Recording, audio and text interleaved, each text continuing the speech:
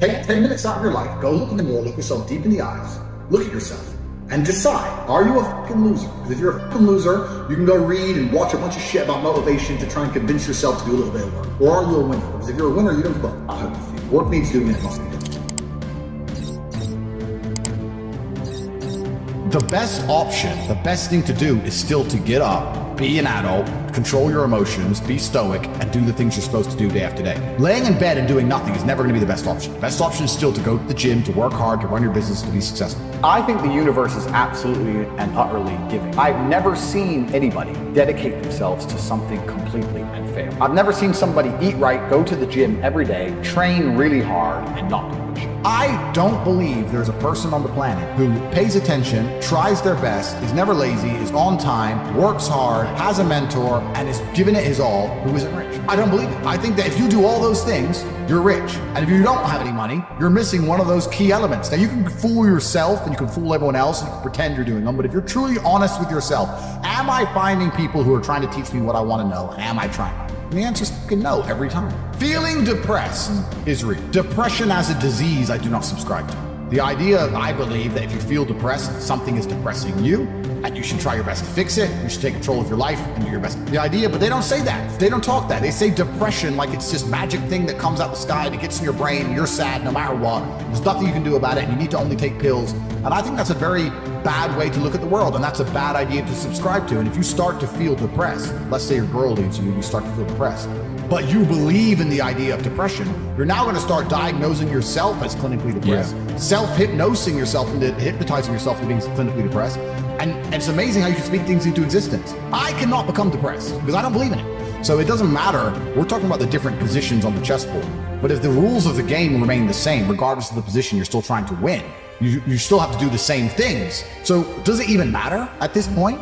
If you come along and say he's depressed because of X and he's depressed because of Y and he's depressed because of Z, and the answer to all of them is still the same thing, then I don't give a fuck why you're depressed. All I know, what I will say as a matter of fact, is this world is hyper competitive, especially as a man.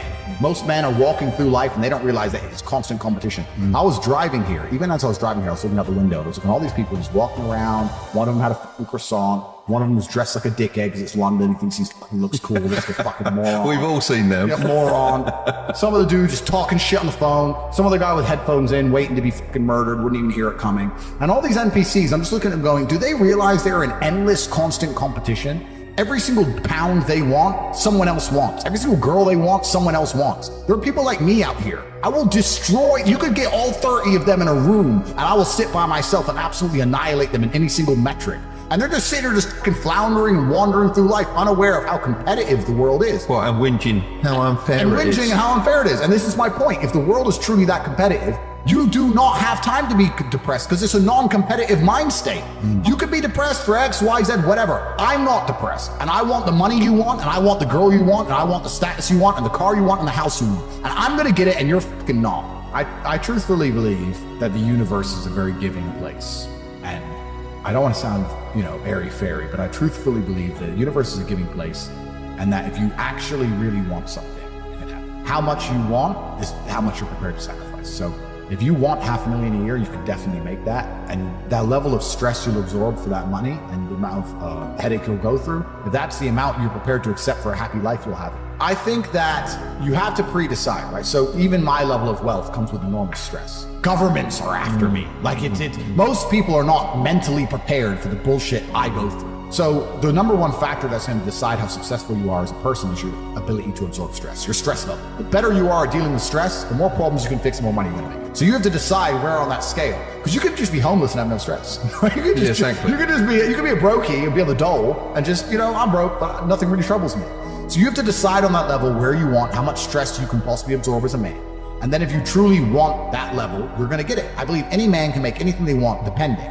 Any one of you here, I, I have no idea how much money you're making, but if you were to say, you know what, I'm throwing away my relationship, I'm throwing away my social life, I'm going ham, I'm going nuts, oh, I don't care what they do to me, I'm gonna, I'm gonna go and I'm gonna make it. You'd make a bunch of money, Yes. but there's a bunch of garbage that comes with it. So you have to decide, right? Mm-hmm. I sit here as a billionaire, and I sit and say, I will teach you how to make money online. Anybody, 18 modern wealth creation methods. It's $49 a month, and I will teach you. And people will sit there in their brutal arrogance, and as a brokey with no money, and go, yeah, but can he really teach me? I have everything you've ever fucking dreamed of. I have all the money. You have nothing, and you're so arrogant that you believe you know more than me, or that you can do it without me, or that I don't know how to teach you. The arrogance of people is truly mind bending. If you know so much, why are you broke? You obviously don't know. If I want to learn how to box, I wouldn't walk into a boxing gym, find a guy who can box, and go, yeah, you know, not bad, but can he really punch? Like, this is how people think when it comes to money. You guys are all successful enough. You can sit there and say, look, I do X, Y, Z. I have X, Y, Z. You don't have it. So, do you, do you want to learn how to play piano from the piano teacher, or do you want to sit there as an arrogant brokey? Most people are brutally arrogant. And you can sit there and you can try and help them, and they're just so arrogant. They think, oh, I can do it myself, or I'll work it out myself. I don't need help. And it's arrogance, and it keeps them at the bottom. Everything great that's happened to me in my life, someone taught me. I had a kickboxing coach. My dad was my chess coach. You get taught things. To sit there and think you're too you're too good to learn. Well, this is the problem. Most people are broke. Most people are broke because they're arrogant. It's the truth. It's nothing to do with how stupid they are. They're just arrogant people. So if you love your family mm. and you love your last name and you're proud of yourself, mm. then you have a duty to be massively monumentally successful to show homage to your ancestors. I find it amazing there are people out here today who are going to sit and say, "Oh, I'm sad, I'm too depressed, I don't want to work hard." Do you understand that only 200 years ago there were peasants out working a field, starving, mm. surviving the Black Death, surviving the plague, struggling to exist just to reproduce so that 200 years later you can be the end of their bloodline. You just sit on your ass and do fucking nothing. Like, you're a fuck up. You're fucking up your entire bloodline of your entire ancestry. You owe these people things. You must, they went through hell for you to exist. You have a debt, you have a duty to pay. You have to be the best possible version of yourself. And the same to God. God loves people who try, God loves people who work hard. It's amazing if you try your very best all the time, what God will give you. He'll give it to you, anything you want, if you actually try. Not not convincing yourself you try, actually try. Mm. They're different things. But yeah, I was instilled with this because from a young age, my dad said, You're a Tate, and Tates are the, the greatest people on the face of the planet. And there's gonna be a day I'm not here anymore, and they're gonna talk about me because of how fantastic you are. So go do your fucking job. I said, Yes, sir. And here I am. Uh, one of the most terrifying, but also gratifying things of, of, life as a man is that we're all born relatively valueless. I don't think women are born that way. A woman, if she's born, especially if she's attractive, has an innate value. People just want her no matter what. But as a man, if you're not an important man, nobody gives a fuck about you and they're never going to care. So you have to build yourself from the ground up. And that's scary for a lot of people, but it's also a massive opportunity. You can decide if you want to be a famous musician or a nice, sensitive poet or a painter or a kickboxing world champion or a businessman. You get to decide on all the different characters in the video game. You can choose who do I want to be. And then if you actually try, actually try, you can become it. Isn't that amazing? You can wake up and go, you know what? I want to be this kind of guy. I knew who I wanted to be. I want to be the dude pulling up in the Lambo, three in the morning, gets out. Everyone's like, who is this big, strong, rich dude? I want to be that man, so I became it. Mm. And, and if you don't want that, if you want to go be a, a, a musician and play guitar and get a bunch of chicks and chill in Bali and smoke weed, whatever, go you can choose your yeah. character and build it the problem is as well it's difficult because the way that humans work and the way that we are we've evolved as a species is that we don't really learn lessons unless they're learned the hard way. Yeah. I believe that unless a lesson is taught the hard way, you're not going to learn it. You can have so many near misses and people won't learn their lesson. Bro, you must know a guy who goes out there, nearly crashes his car, nearly crashes his car, nearly crashes his car, doesn't slow his ass down until he wrecks it. Yeah. Like, this is how people are, right? So you need that pain for the lesson to sting enough to really genuinely go inside of your mind. And it's the same with everything. It's the same with driving a car or a business truthfully, if you want to learn a lesson about business, you're going to have to suffer at some point, right? So we always say that most people are not successful with their first companies, X, Y, Z, blah, blah, blah. I get that. The truth is, there's a lot of people who make a lot of money with their first company, but they just spunk it, act an idiot, and it all blows up in their face. And that's the, and that's how you get the discipline on your fourth company that when you have three million in the bank, you just leave it there. You know, it's yeah. and don't and don't be done with it. So you need to you need to go through some pain. You need to experience some negative things. You need to have to, uh, to a degree some trauma to really even learn any lessons. So so that you make sure it doesn't happen again. I really think that, that humans are stupid enough to only learn the hard way. That's kind of how it works. The, the, saying, "If you know what you have, you ain't got much," that is completely. Yeah. I don't have a clue how much money. When I was broke, I knew exactly how much money I had. I had 117 pound in the NatWest, and that was it. I'm poor, rent paid, I ain't got nothing else. When I was broke, I knew exactly how much I had. But now I'm at a point where it gets really difficult to truly measure how much money I have because you have cash. Okay, that's easy. Even then, once once you have a healthy respect for money, once you get past a certain amount of money, you don't need it in the bank. Like there's, there's no point in me having 50 M liquid in the bank. Why? What, what am I going to buy? You know, you like as long as you have whatever you have in the bank to, to run around the world with, you have enough. So you try and put that money to use, right? You buy assets, X, Y, Z. I don't believe in motivation as a concept. I believe in discipline and divine purpose. People who ask about motivation are basically saying, I don't feel like doing this. How do I feel like doing this? And the answer is, the true red pill is, you're never going to feel like doing it all the time. Sometimes you're not going to want to do it. Doesn't matter what it is. If I were to tell you to go fucking surfing or skateboarding or driving a Ferrari every day, there's gonna be days you wake up where you just don't feel like doing it, no matter how fun it is. That's life. But if you do not do it when you don't feel like doing it, you will never perform against a person who does it regardless of how they feel. You have to make a decision. Forget about the idea of motivation, forget about the concept of it. Throw it away and decide who you are. And this is a genuine task for you all to complete. Go look in the mirror, look into your own eyes and decide, am I a fucking loser or am I a winner? Because if you're only going to do what you feel like doing, you are a loser. That is the definition of a loser. A man who only feels does what he feels like doing is going to lose against the people who perform regardless. If you lose, what are you? A fucking loser.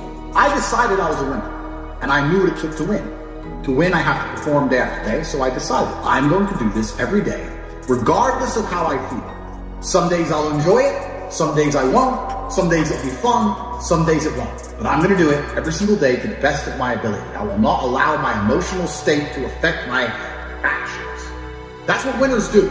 And you've agreed to fight the 13th of July. That day comes around. You might feel like fighting. You might feel like kicking someone's ass. You might not feel that way. You might be a little bit sick. But it's the day. The arena's booked. You have to fight. So you don't get to say, well, I don't feel like it now. You don't get to lose and tell people, well, I didn't feel like it on that day. You just have to do it. You have to be good enough on your worst day to beat your opponent on his best day. It might be your worst day, it might be his best day. You still have to fight, you still have to win. That's the game. So people ask me about motivation, I make it very clear. I say, listen, motivation has nothing to do with any of this. This is about who you are. It's about your purpose, a divine purpose given to you, dictated by God.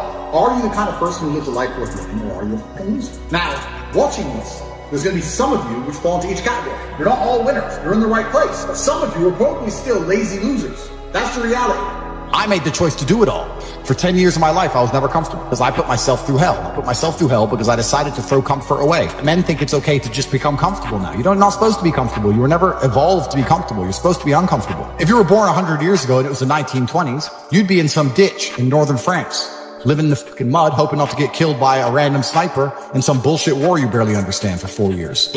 Then you'd come home and hope your wife hasn't been bombed. That's the world. The world has become ex- exceptionally easy for a lot of men. It used to be a different, different place. Most men were cannon fodder. Most of us would have ended up in wars, dying for fucking no reason. And me as a man, when I put myself through hell, when I have had such exacting, such stringent standards for myself, why would I then have less exacting, stringent standards on the people I meet?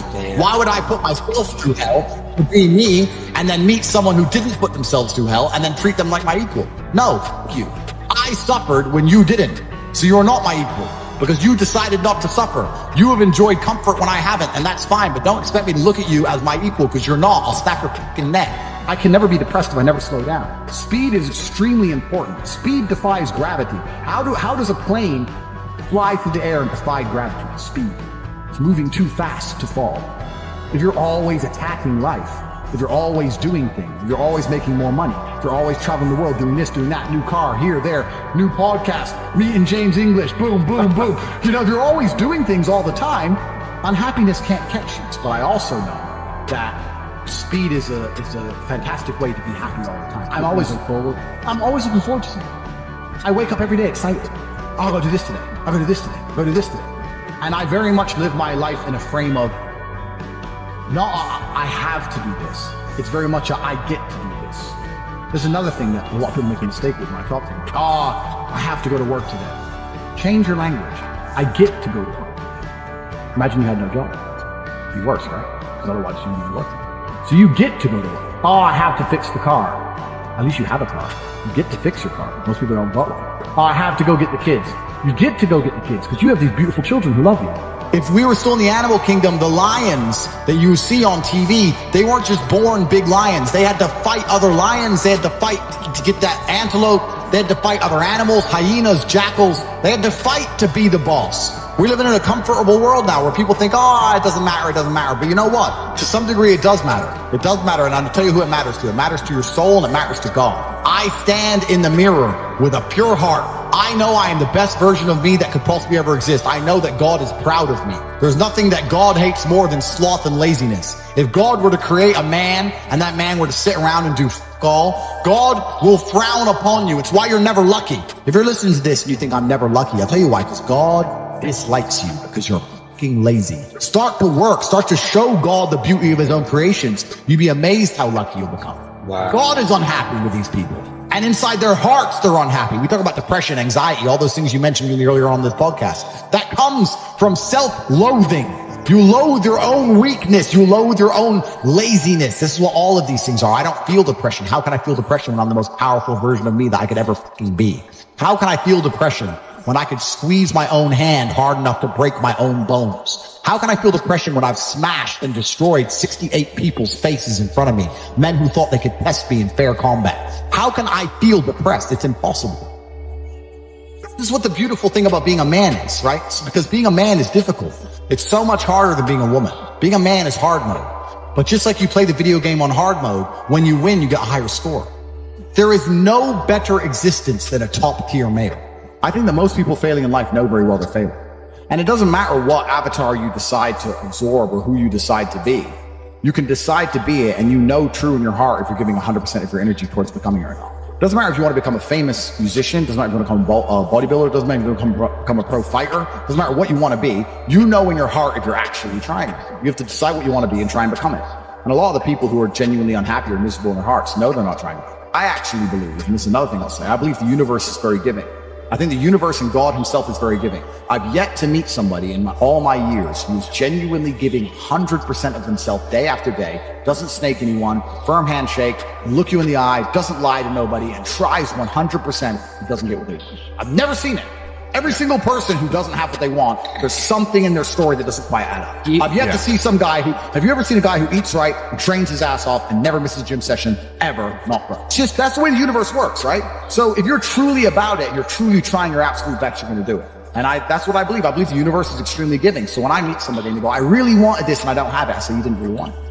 I, I, think we're here to struggle. I think we're here to go through pain. That's, that's so I wake up each day and go, what can I, what can I attack? What problem can I solve? And and look at history. Why did Genghis Khan wake up and want to conquer the whole world? Why did Napoleon conquer the world? Why did Alexander the Great conquer just the world? Male. Just, you just wake up and just say, give me this, give me that. I want all of it. I need to. Yeah. There's an army there. They're really big. We're better. It's intrinsic. Yeah. You need to go and conquer. That's that's the purpose of life. Because if you don't struggle, you don't learn. Yeah. God created us to learn and understand ourselves and understand other people and understand the world. And I say earlier? I said that you don't learn a lesson or you don't appreciate something without, without pain. Without pain. Mm. So you have to struggle to learn anything. Mm. There's only two ways to learn things: the hard way or the harder way. If you're smart, you can learn the hard way. But in my experience, 99% of the planet only learn the hardest possible way. If it's if the lesson's even 85% effective, they'll make the same mistake. Only when they completely decimate and destroy an element of their life do they sit there and go, oh, oops, now I get it. No. That's how it goes. How much money you make. If you're a bad person, you're not going to feel happy. I don't care how much money you make. If you snake people or lie to people or do bad to people, you're never going to feel happy true deep in your heart. True in your heart, we're intrinsically designed to do right and do good.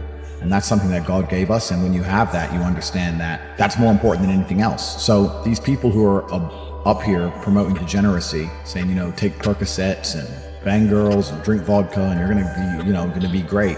I, I drink. I'm not saying I don't drink, mm. but that's not my message, right? Yeah. And those people are never truly happy, and they and they're trying to purport that and convince people to do the same, so that the whole populace is never truly happy. And like I said, now we go in circles. We've already discussed why yeah. they don't want us to be happy. Exactly, so yeah. that, you, that's why. And you want to feel content, and you want to feel stable inside of yourself. You need to live true to God. And I'm not saying you can't drink a little bit of alcohol or not party or not have a little bit of fun. You have to be a good person. You have to balance life. You have to balance life. You have to be a good person overall. I know I'm a good person, and when the Matrix is trying to convince the world that I'm not, that just proves even further that I'm a good person. The world we now live in today, when the mass media machine is trying to tell you somebody is evil, you can know pretty well that that person's probably good, yeah. and vice versa.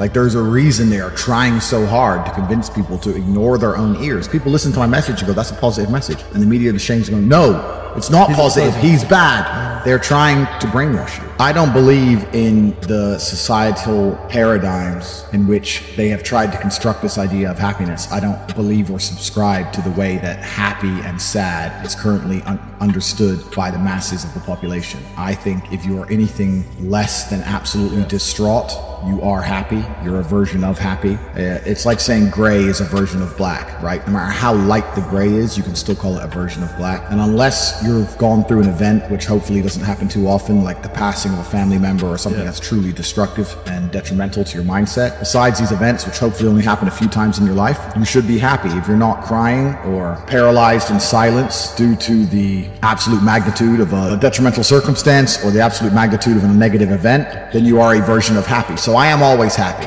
is the short answer. I don't believe in not being happy. I don't believe in not saying to myself I'm happy. I'm always a version of happy. And this chasing, this idea of chasing happiness and always being concerned and preoccupied with how happy you are is actually the biggest mistake that a lot of people make, I think, in the world today. Especially men who wake up and go, Oh, I don't really feel happy, so I need to get happier. And that's how they end up down a Yeah. hedonistic path of drugs or alcohol or Chasing gambling, pleasure. chasing pleasure. I don't care how I feel. Yeah. I don't care if I feel happy or sad. It doesn't really affect what I do each day. I do the exact same things. I act the exact same way. I it does I don't care. And it doesn't I doesn't I don't put weight to the significance of the emotion.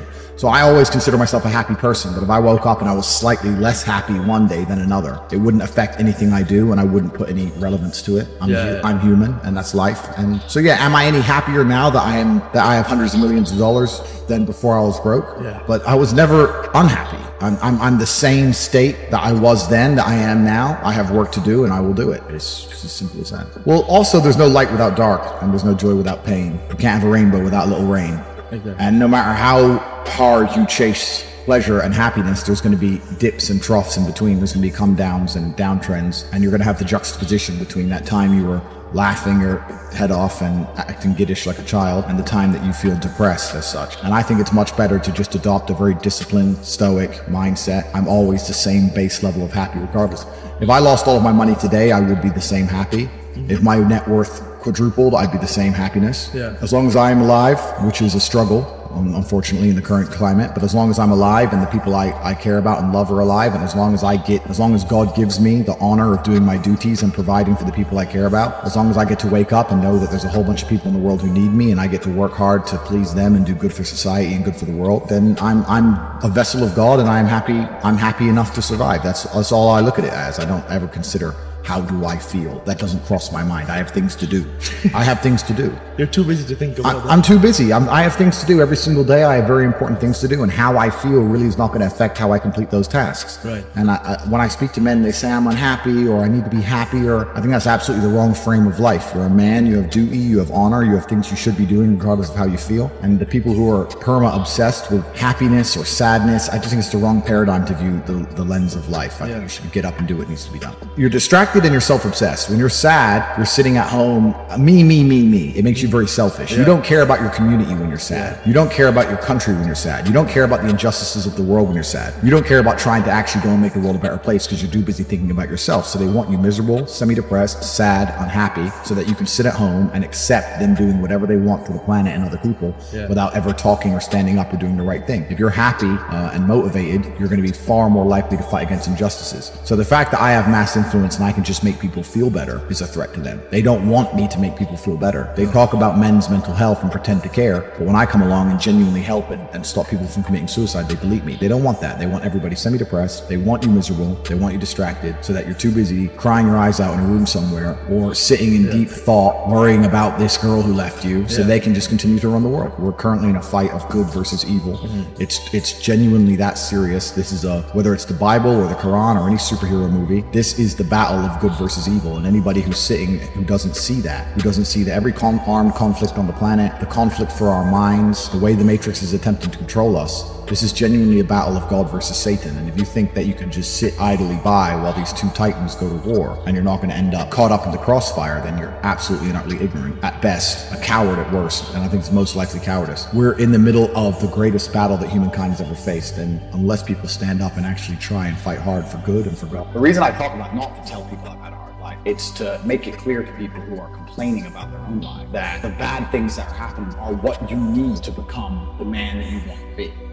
I can't talk about women because I'm not. I actually think trauma is terrible for women because it masculinize. They become cold, and that's not attractive. Right? We want feminine, pure, protected women. I don't want a woman to ever go through anything bad in her life. A man should go for her, protect her. I think that's how she's her best self as a woman. But I think to be your best self as a man is the absolute opposite. Someone emails, "This has happened to me." I'm like, "Good." No, what do you mean good? It's terrible. How else are you going to become important? How else are you going to find endless fire to get up and struggle in the face of the competition that's out there. How else are you ever? You're going to do all that with a nice, cushy life? If any man's honest with himself, think about the biggest transformative stages in your life. Think about the times you got the most work done. It was a bad part of your life. You were heartbroken, or you know, you lost a house, or broke, or whatever. That's when you did shit. When everything was fine, when the woman's still sucking the, the mortgage is paid, dinner's on time. It's kind of doop-de doop-de doo, little by little, do a little bit of work, do a little bit of relax. But the big events come from trauma. This is it. So it's a cheat code. It's a cheat code to climb the mountain. So when I get a message from whoever, my wife left me and devastated. I understand. I completely understand how hard it can be to lose a woman that you've given your entire life and you've been done so many nice things. And then because of one thing you did, her innate and absolutely insane level of ungratefulness has turned her bitter and she now talks to you like she hates you over one thing you've done after thousands of efforts showing how dedicated you are to her. And even now that you're prepared to die for her, she doesn't give a shit about. I understand that. So my answer is good. It's still good. Now take all of that pain, instead of being, and then you're going to become the kind of person. Why does it have to be quick? Why does it have to be easy? Why do you think life is all quick and easy? Why can't it be hard and difficult? Why can't you suffer? Because suffering is what gives it value. If everyone had a six pack and it's quick and easy, then it wouldn't be valuable, would it? If everyone walked around with a quick a six pack and they got it easily, then no one would give it. The whole point is that it's difficult to get. Value is linked to difficulty. If you want something that is valuable, you need something which is difficult to obtain. You shouldn't be thinking about quick and easy. You should be thinking about hard, suffering, pain, going through it. That's what you should be thinking about. This is going to be hard, but I'm going to do it anyway. Because when it is done, then everyone's going to know that I went through something difficult. Nobody, absolutely nobody, gives a fuck about it as much as you're going to have to do. Nobody cares about it as much as they need to care to fix your life. But nobody is going to come to your bed, drag you out of bed, drag you to a job, force you to work hard. You are never going to have any of the things you want. Do not get them yourself. The only person who's going to make you happy and live a life that you want to live is me. Nobody's going to do it for me. People say, Tate, what motivates you? And I find that extremely, I think that's a stupid question. I was a four time kickboxing world champion. For 12 years, I trained five hours a day, six days a week. And I was motivated to train probably about 25%. The rest of the time, I went because I am disciplined. If I wake up and I'm unhappy, I will do the exact same things as if I am. I will go to the gym the same. I will work the same. How I feel has no impact on how I live my life. We're grown ups and we have responsibilities and we have problems and we have pressure. And you don't necessarily have to be happy to perform, you know, and, and happiness will come at the end of the performance anyway. But if your number one goal as a man, if your number one uh, mission in life is just to be happy, that's going to be an extremely vacuous existence. You're not going to be a man of substance. Your ability to deal with stress, the amount of stress you can deal with as an individual, is directly correlated to your success. If you can deal with stress all day, you're going to be successful. If you collapse under stress, you're not going to be successful. There's no way to the top without stress involved. But there is a massive correlation between success in life and stress tolerance. The more stress you can tolerate, the better your life's going to be. One of the only things in this world you can control is your state of mind. You can't control the weather. You can't control other people. You can't even control your health. One of the very few things in the world you have genuine control of is your state of mind. If you can't control that, then you're just a feather in the wind.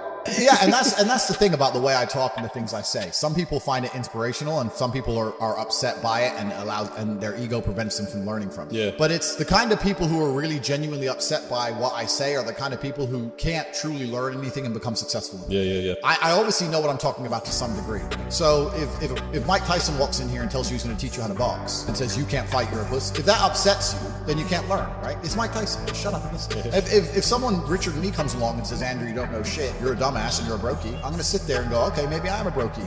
Elon, tell me something, right? I'll listen. But if you're going to sit there and go, don't call me names, and then I'm not listening, you're never going to get anywhere, right? You don't become you don't become the master unless you're very very good at being a student. And I've always been very very good at knowing when to shut up. If you're going to sit there and go, I don't want to work more than an hour a day, well, the guy who does want to work more than an hour a day is going to beat. And no matter how smart you are, there's always a smart dude who's doing the same smart work you are for more hours than you're doing it. That's just the nature of the game. Get up off your ass and work first. Because there's no such thing as completely, truly 100% passive. You're going to have to check it. You have to maintain it. You're gonna have to find a new tenant in that bubble. You're gonna have to make sure that DeFi crypto farm you're in doesn't go to zero. It's all wonderful. You're always gonna have to keep an eye on it, right? But the idea that people with no money are already so concerned with making money without work is amazing to me.